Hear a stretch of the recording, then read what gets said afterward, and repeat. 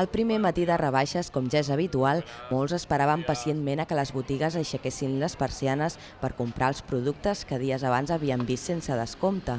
La mitjana de despesa per persona que es calcula per aquesta campanya de rebaixes és d'entre 90 i 100 euros, però n'hi ha que estiren més o menys la màniga. 150 com màxim. 200 i algo, 300. Uns 100, eh, 150 euros. 90, 100 euros. Unos 50. En tot cas, les previsions auguren una campanya molt millor que la de l'any passat, en la mateixa línia que la campanya nadalenca. Aquest any, l'època de rebaixes, se presenta amb una miqueta d'optimisme, més que l'any passat.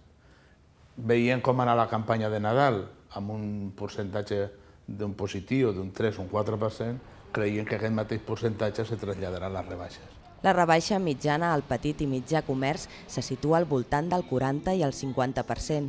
Aquests dies de rebaixes on primer s'hi fiquen són els grans magatzems, perquè pensen que allà és on trobaran eh, realment la gran rebaixa. I realment la gran rebaixa està a les botigues petites que tenen el gènere durant tot l'any el mateix. Bastante gente ha esperado a que empiecen las rebajas para hacerse detallitos. La campaña Navidad ha sido buena, pero no obstante, pues siempre se ha notado un poquito la crisis. Y ahora yo creo que la gente se va a soltar un poco porque los precios están muy bien.